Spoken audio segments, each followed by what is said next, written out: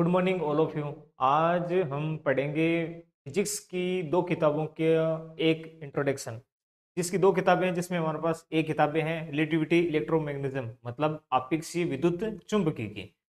यह किताब हमारे पास विद्युत चुंबकीय क्षेत्र या तरंग पर आधारित है। इस किताब का इंट्रोडक्शन करने से पहले हमारे पास आपेक्षीय या विद्युत चुंबकीय की बारे में हम अध्ययन करेंगे। विद्युत चुंबकीय की हमारे पास इस वर्ड पर पूरी की पूरी किताब डिपेंडेड करेगी? मतलब वेव पर हम आपको आज इसके बारे में इंट्रोडक्शन कराएँगे। जैसे कि हम छोटी क्लासों में पढ़ते हैं कि वेव। वेव के रूप में जैसे कोई कुछ बोल देता है कि ये वेव है, हमारे पास इस प्रकार इसको दर्शाया जाता है। मानते हैं कि ये वेव है, लेकिन वेव का एक ग्राफी निरूपण है। वास्तविक रूप से ये वेव नहीं है, ऐसा भी हम कह सकते हैं। वेव का इंट्रोडक्शन करने के लिए मैं आपको एक छोटा सा एक उदाहरण देते हैं। उदाहरण कुछ इस प्रकार है। जैसे वेव से पहले थोड़ी सी जानकारी से बता देते हैं कि वेव यानी कि इसको हिंदी में बोलते हैं तरंग। वेव यानी तरंग। यह एक ऊर्जा का प्रकार है टाइप ऑफ़ एनर्जी यह तरंग का ही ऊर्जा है। ऊर्जा का ही एक प्रकार है जिसको हम तरंग कहते हैं। जैसे हम एक उदाहरण लेते हैं। उदाहरण में कि जैसे दो गाड़ी आपस में टकराती है। दो गाड़ी आपस में टकराती है। तो जो घटनाएँ आपने देखी है, वो आपको बतानी है। जैसे कि दो गाड़ी आपस में टकराई, एक गाड़ी इधर से थी, एक गाड़ी इधर से टकराई। तो जो हम दृश्य देखते हैं, वो दृश्य ये था कि गाड़ी टकराने के पश्चात में हमें आग लगती हुई दिखाई दी। गर्म हो जाती धोने वाले में, इसको हम कह सकते हैं उष्मा वाले में आग लगी। आग लगने से चारों तरफ़ क्या हो जाता है? प्रकाश, लाइट वाली स्थिति रह जाती है। और देखो दोनों जब आपस में टकराती है तो एक आवाज़ आती है। आवाज़ हो गया होता है धड़ाम, या कह सकते हो? आवाज़। आवाज़ को बोल सकते हैं ध्वनि, और ध्वनि को बोल सकते हैं हम साउंड अब देखो, एक रह जाएगा हमारे पास, आवाज़ हो जाएगी, उष्मा लग जाएगी, आग वाले में रह जाएगी, और प्रकाश रह जाएगा, और ये बनेगी। अब आग लगने के कारण हमारे पास एक हो सकते हैं, जिसको बोलते हैं विकिरण। ये दो स्थिति, तीन स्थिति हमारे पास रह जाएगी। यानी कि ऊर्जा जिसको ऊर्जा कहा जाता है, ऊर्जा को ही तरंग कहा जाता है। तरंग हमारे पास जो वर्ड रह जाएगा, जिसको अंग्रेज़ी में वेव कहते हैं, वह है, ये वाली वर्ड सारी के सारी जितनी ऊर्जा है, चाहे वो ध्वनि ऊर्जा हो, प्रकाश ऊर्जा हो, उष्मा ऊर्जा हो, या विकिरण हो, ये सारी की सारी। अब आग लगेगी तो इसमें एक चीज़ होती है जिसको बोलते हैं, रेडिएशन। रेडिएशन को हिंदी में बोलते हैं विकिरण, ये अंग्रेज़ी में हो जाएगा रेडिएशन रेडिएशन भी कुछ मात्रा में निकल जाएगी मतलब अनावश्यक गैस या विकिरण जो हानिकारक हो। इन्हीं को ही हम बांटते हैं इसके आधार पर। मीडियम। मीडियम का मतलब होता है माध्यम। माध्यम के आधार पर हम तरंग को बांटते हैं, यानी तरंग किस प्रकार कौन कौन से में रहेगी? अब देखो टाइप ऑफ़ वेव मतलब बेस ऑफ़ मीडियम तरंगे माध्यम के आधार पर मतलब ये वर्ड है, याद रखना, माध्यम. माध्यम का मतलब दो चीज़ों के बीच में स्थान, जिसमें जो हो, चाहे कुछ हो या ना हो, माध्यम वाली इसको इसको बोलते, एक नाम हो जाएगा, संचरण मतलब चलना, अंग्रेज़ी में बोलते हैं प्रोपेगेशन चलने वाले में. यानी कि तरंग तरंग का अर्थ वापस वही आ जाएगा ऊर्जा ऊर्जा अगर चलती है यानी किसी माध्यम में, उस माध्यम के आधार पर तरंग को तीन भागों में बांटा गया है। अब वो कुछ इस प्रकार है, जैसे पहले का नाम है हमारे पास, पहले तरंग का नाम। ई एम डब्ल्यू इसकी फुल फॉर्म रह जाएगी हमारे पास। Electro, electromagnetic wave. यानी इसका हिंदी में नाम है विद्युत चुंबकीय विद्युत चुंबकीय तरंग। विद्युत चुंबकीय तरंग वाले में जैसे इसका एक बहुत ही ज़्यादा विस्तृत रूप है। विद्युत चुंबकीय तरंग का सिर्फ़ एकमात्र है। ना तो उसमें विद्युत है, ना ही चुंबक है, फिर भी विद्युत चुंबकीय तरंग है। नाम से उसका कोई लेना देना नहीं है। यहाँ पर एक नॉर्मल आधार पर, बेस पर एक बात करते हैं तरंग की। तो तरंग हम बांटेंगे इसके आधार पर, माध्यम और संचरण के आधार पर। तरंग चलती है माध्यम में और यानी कि वो ऊर्जा है। उसके आधार पर इनको तीन भागों में बांटा गया। पहले का नाम इलेक्ट्रोमैग्नेटिक वेव यानी विद्युत चुंबकीय तरंग, शॉर्ट में बोल सकते हैं ईएमडब्ल्यू जो विद्युत चुंबकीय तरंग है, ना तो उसमें विद्युत है, ना ही चुंबक है, फिर भी विद्युत चुंबकीय तरंग है। वह बांटा गया है इसके आधार पर। यानी कोई भी तरंग, यानी कि ऊर्जा, वापिस ये तीनों वर्ड वापिस काम में ले लेंगे? यानी कोई भी ऊर्जा या तरंग किसी माध्यम में, यानी कि वे ऊर्जा या तरंग जिनको चलने के लिए मतलब संचरण के लिए, माध्यम माध्यम यानी कि वापिस कर जाएगा? संचरण करने के लिए माध्यम की आवश्यकता। माध्यम की आवश्यकता नहीं होती है। यानी कि इसको चलने के लिए माध्यम की आवश्यकता नहीं होती है, इसलिए इसे विद्युत चुंबकीय तरंग कहते हैं। अगर किसी भी ऊर्जा को चलने के लिए माध्यम नहीं चाहिए, वो सारी की सारी विद्युत चुंबकीय तरंग होती है। जैसे पहले वाले में, सूर्य से पृथ्वी पर प्रकाश ऊर्जा आती है, यानी कि किरण। सूर्य से पृथ्वी वाले में, सूर्य, यानी कि देखो सन और अर्थ, इन दोनों के बीच मीडियम कौन सा है? सूर्य और पृथ्वी के बीच निर्वात है, यानी हवा है ही नहीं। कुछ नहीं है। सूर्य और अर्थ मतलब सन एंड अर्थ, दोनों के बीच अर्थ कुछ नहीं है है ही नहीं, कुछ नहीं है। इसका मतलब निर्वात है, वैक्यूम बोलते हैं इसको। वैक्यूम वाली स्थिति निर्वात वाले में। फिर भी प्रकाश की किरण पृथ्वी तक आती है। तो इसीलिए इसको कहते हैं विद्युत चुंबकीय तरंग।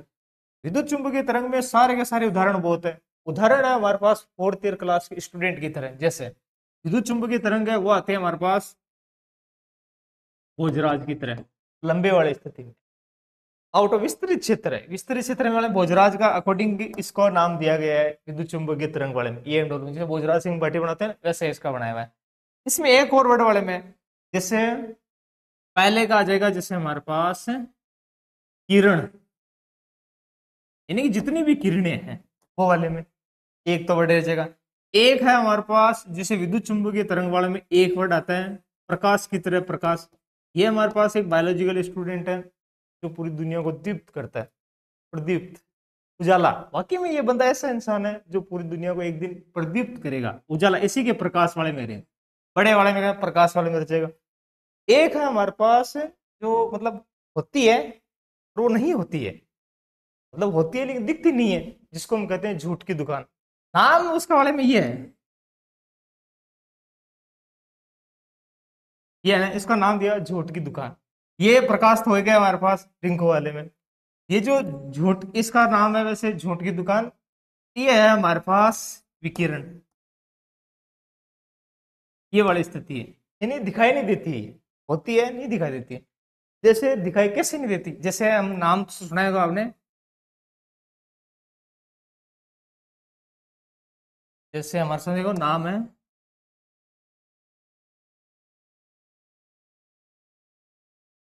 Ultra, violet.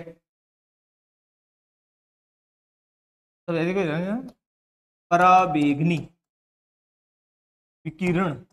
हाँ सुना होगा? परावेगनी, विकिरण वाले में। परावेगनी, विकिरण वाली स्थिति में जैसे सूर्य से प्रकाश आता है, सूर्य से प्रकाश आता है तो प्रकाश में किरण भी होता है, विकिरण भी होता है। अब दोनों स्थिति में से दो वर्ड नाम वाले में हमारे पास वो एक अलग पॉइंट रह जाएगा हमारे पास। एक तो हमारे पास जैसे किरण ही है एक विकिरण वाले में। अब इसमें देखो दो तीन चीज़ें और भी है। एक तो आ गया हमारे पास प्रकाश ऊर्जा, ये वाले में। उदाहरण में आ गया प्रकाश ऊर्जा वाले में।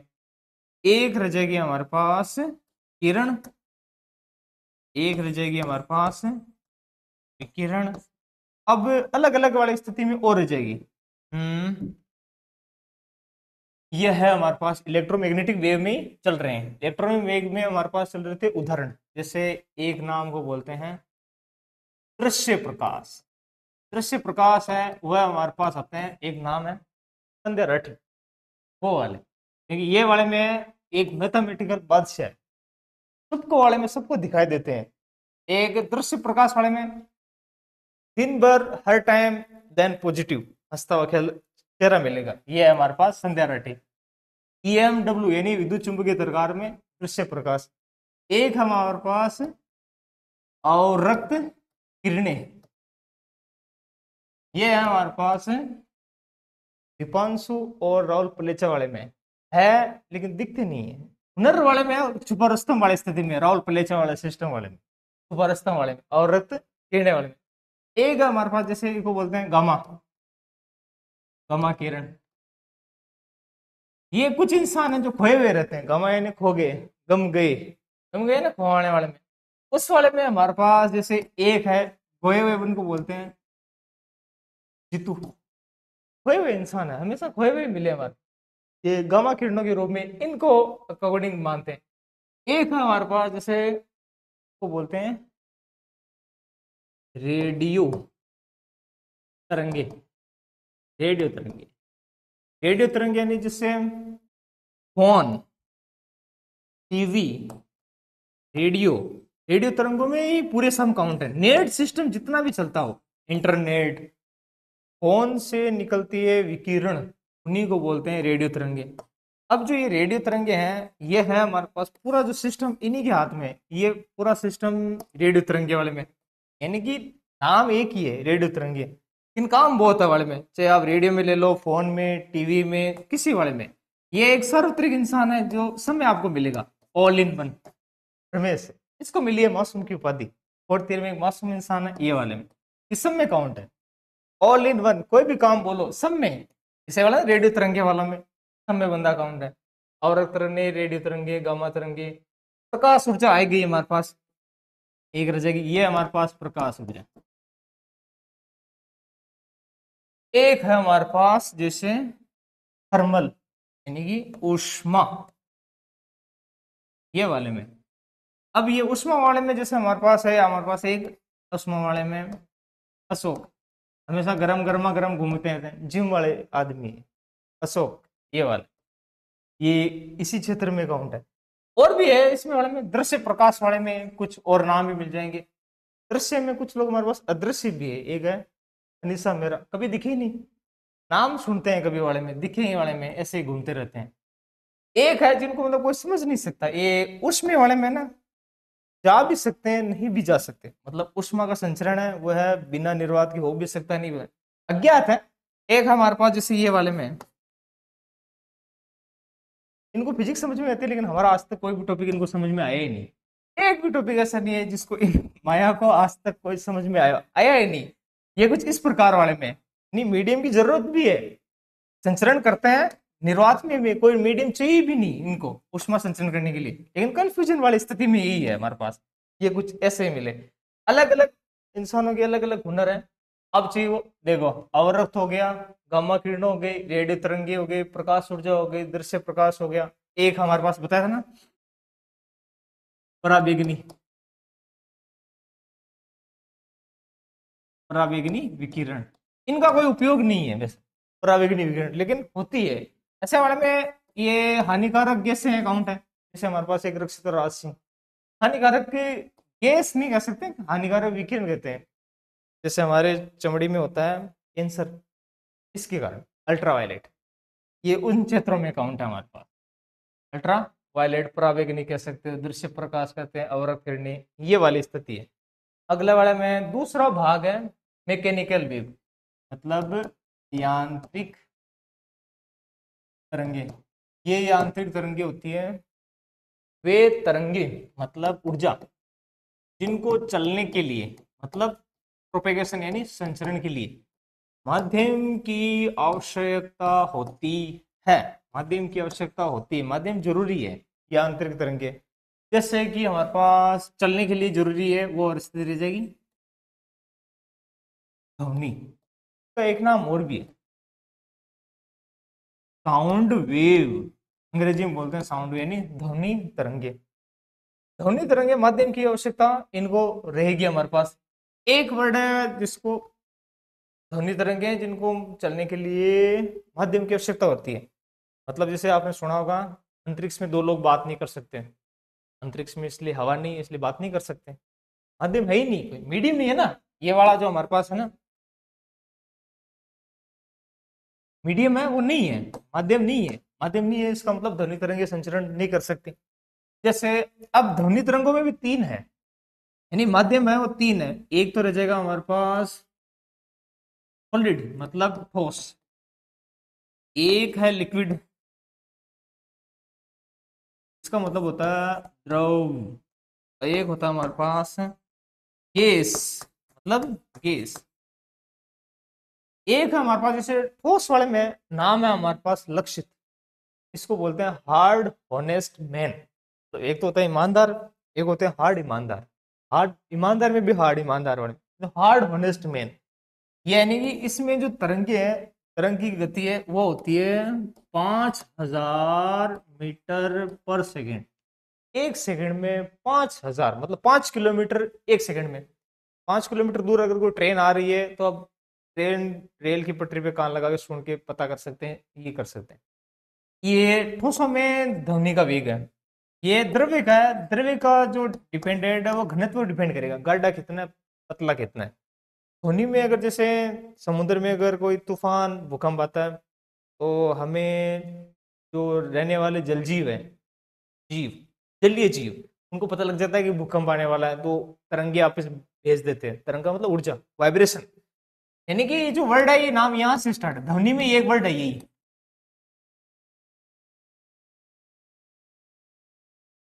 वाइब्रेशन यानी कंपन की बात हो रही है। ध्वनि साउंड गति, ऊर्जा की बात करें ना इसमें, ध्वनि की। ध्वनि में ऊर्जा, तरंग की बात करते हैं, इसका मतलब हम कंपन की बात करें वाइब्रेशन वो वाली बात है, यानी कि वाइब्रेशन है, वो साउंड में सबसे ज़्यादा रहता है। द्रव्य में थोड़ा कम रह जाएगा, पानी वाले में। गैस यानी हवा, हम बोल रहे हैं, आप सुन रहे हैं, इसका मतलब 300 मीटर पर सेकेंड। 300 मीटर पर सेकेंड ये होता है। अब इससे पहले वाला जो था हमारे पास स्पीड वाले में, जैसे सॉलिड में हमारे पास है, लक्ष्य था हमारे पास, ऐसे वाले में। अब इनकी गति होती है, लेकिन इनकी दिखाई नहीं देती है। जैसे पानी के अंदर वाली स्थिति है, वो अज्ञात ही चलती है। अंदर ही अंदर वाली स्थिति में है। पता नहीं चली कब कहाँ गए एक है हमारे पास, जैसे ये ये वाली स्थिति है, वो सुनील वाले में अकाउंट है। एक सुनील कुमार है। फ़र्स्ट रैंक आ जाती है पूरी क्लास में फ़र्स्ट रैंक बंदा आया हुआ है। पता नहीं चलती कब कब, कहाँ, कैसे निकले। ये द्रव्य तरंग वाले में होती है, बीच वाली स्थिति में है। मतलब सबसे ज़्यादा इसमें, सबसे कम इसमें स्पीड खूब है, लेकिन पता नहीं चलती कब कहाँ गए ये वाले में हमारे पास। कुछ लोग हैं स्पीड में इसमें एक हो रहा है हमारे पास। एक रह गया। हमारे ये दोनों बंदे ऐसे हैं, आज तक पता नहीं चला कब, कहाँ, कैसे अलग ही चलते हैं ये है हमारे पास गैस, यानी हम बोल रहे हैं, आप सुन रहे हैं, आप दोनों के बीच में हवा है। हवा में वेग है, ये वाला। अब इससे पहले वाला जो था, ये वाले में ई में, ये जो तरंगे हैं, इनको चलने के लिए माध्यम की तो आवश्यकता है नहीं, लेकिन वेग होता है इनका, एक वेग। वेग होता है तीन गुणा दस की पावर आठ मीटर पर सेकेंड मतलब? प्रावेगनी हो, गामा हो अवरक्त हो दृश्य हो, रेडियो प्रकाश ऊर्जा, कोई भी हो, ये वाले में। इनको संचरण के लिए जो गति होती है, वो वेग होता है इनका, तीन लाख किलोमीटर पर सेकंड। मतलब सूर्य से पृथ्वी तक जो प्रकाश की किरण आती है, तीन लाख किलोमीटर पर सेकंड। इतनी स्पीड में आ जाती है। यदि आठ मिनट और बाईस सेकंड में आती है तो इसको आप डायरेक्ट आठ को पहले तो करो साठ से गुणा, फिर करो बाईस और जोड़ दो। आठ मिनट साठ सेकंड वाले में, फिर इसको इससे गुणा करो, इतनी दूरी पता चल जाएगी। पता करते हैं ना सूर्य और पृथ्वी के बीच दूरी कितनी है? तो प्रकाश का वेग फिक्स है। वेग इसका बहुत ज़्यादा वाली स्थिति में रह जाएगा। अब है हमारे पास, देखो मीटर वे यह है मीटर वे हमारे पास इसको बोलते हैं द्रव्य तरंगे। द्रव्य का मतलब होता है द्रव्य गैस, तीनों को बोलते हैं। यानी द्रव्य का या मीटर का नाम एक नाम और है का नाम दिया हुआ है पदार्थ। पदार्थ यानी कोई भी मेटल पदार्थ वाले में। मीटर वे उनको कहते हैं जिसकी इलेक्ट्रॉन प्रोटॉन न्यूट्रॉन यानी इनको नाम दे सकते हैं हम एक सूक्ष्म कणों से संबंधित कणों की गति, सूक्ष्म कणों से संबंधित तरंग की गति। तरंग की गति को मीटर वे में मापा जाता है। मतलब इलेक्ट्रॉन सूक्ष्म दृष्टि इसका नाम है एक। इलेक्ट्रॉन सूक्ष्मदर्शी। सूक्ष्म कणों से संबंधित कोई भी गति होती है, उनको मीटर वे कहा जाता है। सूक्ष्म कण इलेक्ट्रॉन प्रोटॉन न्यूट्रॉन जिसको खुली आँखों से नहीं देखा जा सकता। एक है हमारे पास, तीन हो गए। तीनों के नाम हमारे पास कुछ इस प्रकार थे। एक का नाम है इलेक्ट्रोमैग्नेटिक वेव पहला। दूसरा रह जाएगा हमारे पास मैकेनिकल वे और तीसरा जाएगा मैटर पे ये तीन प्रकार की तरंगे होती है संचरण यानी माध्यम के आधार पर। अब है हमारे पास दिशा के आधार पर। दिशा मतलब डायरेक्शन इसके आधार पर तरंगे हैं हमारे पास। दो आधार है। एक तरंग का नाम है हमारे पास अनुधैर्य तो अंग्रेज़ी में बोलते हैं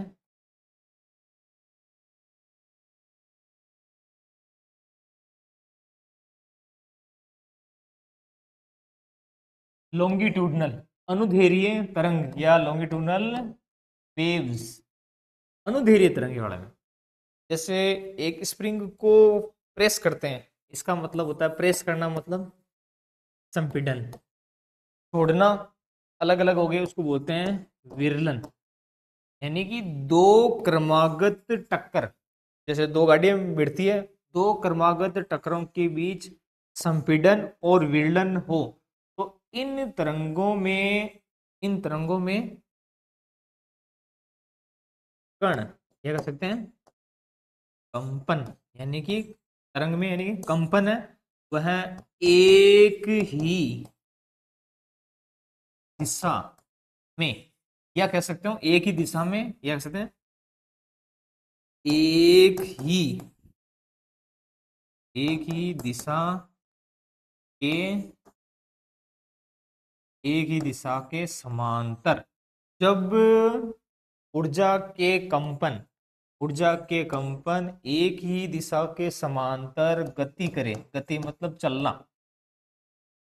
कंपन है, यानी ऊर्जा के कंपन एक ही दिशा में समांतर गति करे तो उसे बोलते हैं अनुधैर्य तरंग।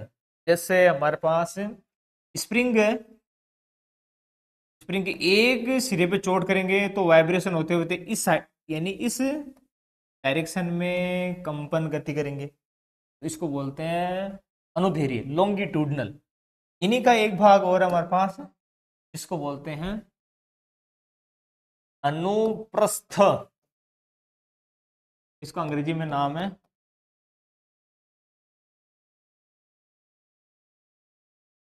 ट्रांसफ़र वेव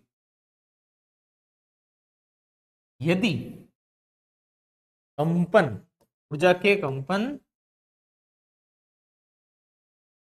तल के लंबवत यानी कि देखो पहले क्या था?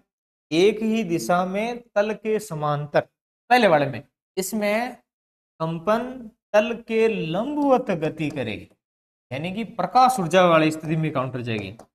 इससे जो पहले वाला था हम्म, पहले वाला था ना, एक ही दिशा के समांतर गति, यानी कि साउंड वेव साउंड वेव में एक सॉलिड है, वो एक अपवाद वाली स्थिति में रह जाएगी। और इसके अंदर रह जाएगा तल के लंबवत गति, यानी प्रकाश ऊर्जा, उदाहरण वाले में।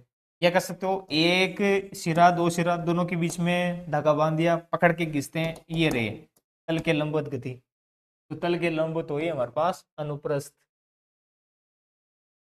अब हमारे पास देखो, अनुप्रस्थ आ गए दो आधार पर है। तरंग बोलते हैं, तरंग का एक शाब्दिक अर्थ है, यानी ना,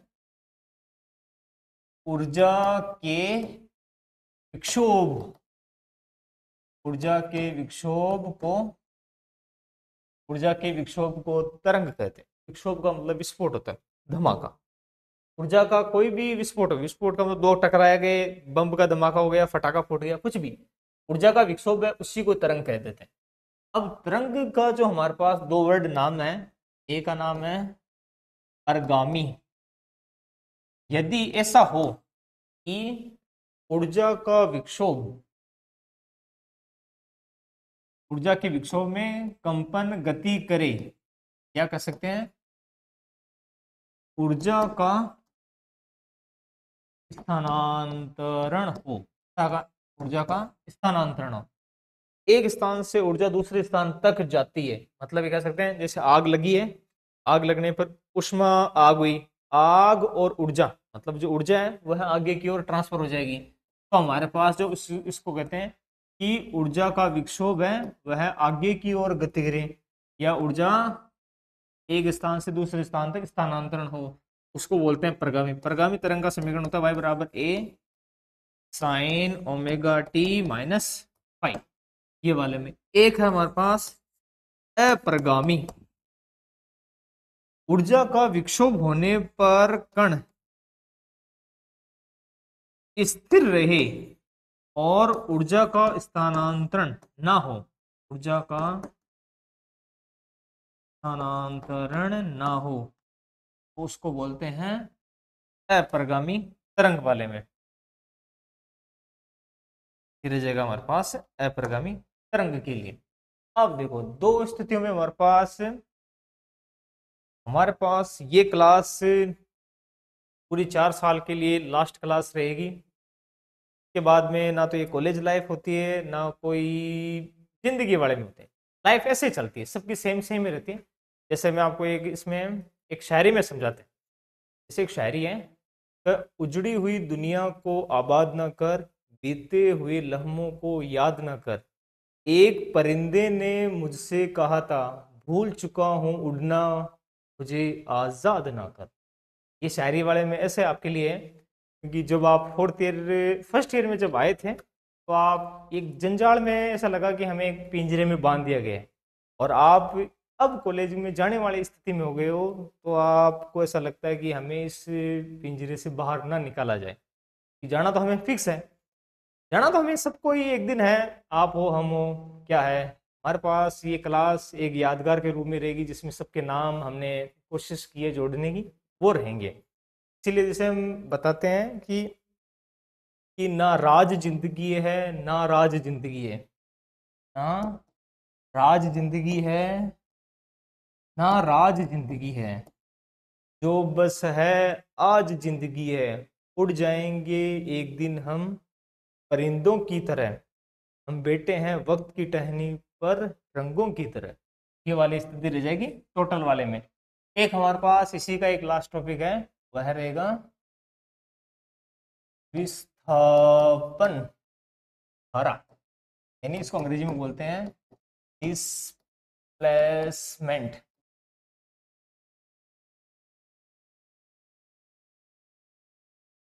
डिस्प्लेसमेंट करंट विस्थापन धारा वाले में। विस्थापन धारा होती है संधारित्र से संबंधित। संधारित्र होती है एक प्लेट जिसके एक साइड प्लस में, एक साइड माइनस में और एक ये जुड़े होते हैं। अर्थिंग से।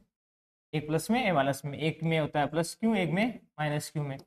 के बीच में कोई एक पराविद्युतांक भरा होता है साइनो वाले में। ये स्थिति में रह जाएँगे। यदि संधारित्र के कारण उसको अगर चार्ज किया जाता है, पहले है जैसे एक कैपेसिटर संधारित्र को अंग्रेज़ी में बोलते हैं कैपेसिटर संधारित्र कहते हैं, वह उपकरण जिसका आधार बढ़ाए बिना, आधार मतलब बेस यानी कि आधार बढ़ाए बिना आवेश आवेश यानी क्यों? को संग्रहण करने की युक्ति या उपकरण, ये बड़ी याद उपकरण यानी उपकरण यानी कि बिना आधार बढ़ाए आवेश ग्रहण करने की युक्ति को संधारित्र कहते हैं। मतलब कैपेसिटर वाले में हमारे पास रह जाएगा कैपेसिटर। कैपेसिटर में विद्युत ऊर्जा वो होती है sigma upon epsilon E यहाँ पर इलेक्ट्रिक फ़ील्ड है और एफ़ साइनो विद्युतशीलता सिग्मा बराबर। सिग्मा होता है हमारे पास प्लेट के कारण। प्लेट के बराबर क्यू अपॉन एफ़ ऑफ़ यदि हमें आवेश यानी इसके बराबर निकालना हो, आवेश के लिए तो हमारे पास रह जाएगा क्यों बराबर। क्यों एफ़ साइनो वाली स्थिति के अनुसार रह जाएँगे। अब हमारे पास जैसे क्यों बराबर ए ये हो जाएगा हमारे पास एरिया यानी इस प्लेट का आधार का क्षेत्रफल, ये हमारे पास आधार वाली स्थिति में रह जाएगा। अब जैसे घनत्व निकालते हैं, वह होता है हमारे पास, घनत्व होता है T upon M upon V वाली स्थिति के लिए। यदि हमारे पास प्लेट के कारण घनत्व है तो होता है सिग्मा बराबर क्यू अपॉन, अब वी तो है नहीं, वह आएगा हमारे पास ए के रूप में। तो हमारे पास घनत्व रहेगा सिग्मा बराबर क्यू अपॉन ए? क्यू को आप बड़े या छोटे रूप में रखा जाए? और क्यू बराबर लिखना हो तो हमारे पास सिग्मा ए वाली स्थिति रह जाएगी। अगर हमें क्यू बराबर निकालना हो तो ये वाली स्थिति में तो हमारे पास विद्युत क्षेत्र रह जाएगा सिग्मा की जगह। Q? Upon A epsilon sigma के रह जाएगा हमारे पास Q upon epsilon E बराबर रहा हमारे पास Q upon A epsilon ये वाली स्थिति में यहाँ हम क्यों बराबर लिख सकते हैं? इनको इस साइड गुणा कर देंगे तो रह जाएगा ए ए ई एफ़ साइनो ए विद्युत क्षेत्र, विद्युतशीलता क्षेत्रफल। अगर हम इसके लिए निकालते हैं धारा धारा, यानी आई बराबर, धारा होता है D Q by D T I, यानी इलेक्ट्रिक करंट क्यों बराबर वैल्यू है हमारे पास? ये वाली। ये रह जाएगा D upon D T A E epsilon इस वाले में। ई e के लिए ए और एफ़ साइनो दोनों ही कांस्टेंट वैल्यू रह जाएँगे तो धारा रह जाएगी हमारे पास A epsilon D E by D T ये वाली अवस्था में। एक होता है हमारे पास नत्व नत्व होता है जे बराबर। ये होता है हमारे पास आई अपॉन ए यदि हम आई की वैल्यू ये स्थिति में रखें तो हमारे पास जे है, वह रह जाएगा A epsilon D E by D T और ये रह जाएगा ए वाले फॉर्म में। ए से ए कैंसिल आउट हो जाएगा तो हमारे पास घनत्व आ जाएगा epsilon D E by D T. यहाँ पे एक एफ़ साइनो कांस्टेंट है तो जे बराबर इसको लिख सकते हैं D upon D T epsilon E. हम जो हमारे पास जो एफ़ साइनो ई है, इसी को लिखते हैं डी। अर्थ डिसप्लेस डिस्प्लेसमेंट करंट ये हमारे पास एफ़ साइनो ई गुणा इन दोनों का गुणा है D displacement current displacement current की बराबर होता है। जिसको हम लिखते हैं डी बराबर एफ़ साइनो ई की फॉर्म में। और इसको वापिस उसी में लिखा जा सकता है समीकरण में। तो हमारे पास रह जाएगा J D upon D T D की फॉर्म में। हमारे पास आज का टॉपिक था किताब के लिए वेव का इंट्रोडक्शन जो संचरण के आधार पर तीन प्रकार के होते हैं। विद्युत चुंबकीय तरंग, एक रह जाएगा हमारे पास मेटर वेव यांत्रिक तरंगे, एक रह जाएगी द्रव्य तरंगे। और दिशा के आधार पर हमारे पास रह जाएगी एक तो अनुधेरीय दूसरी अनुप्रस्थ। और ऊर्जा के आधार पर, ऊर्जा संचरण के आधार पर दो प्रकार रह जाएँगे। वह रह जाएँगे प्रगामी और अप्रगामी। और अगले टॉपिक रह जाएगा हमारे पास डिस्प्लेसमेंट करंट यानी कि इन दोनों का गुणनफल वर्ग के बराबर। आज का हमारे पास टॉपिक ये था। फिर अगले साल, फिर ज़िंदगी में कभी मुलाकात होगी। तब तक के लिए जय हिंद।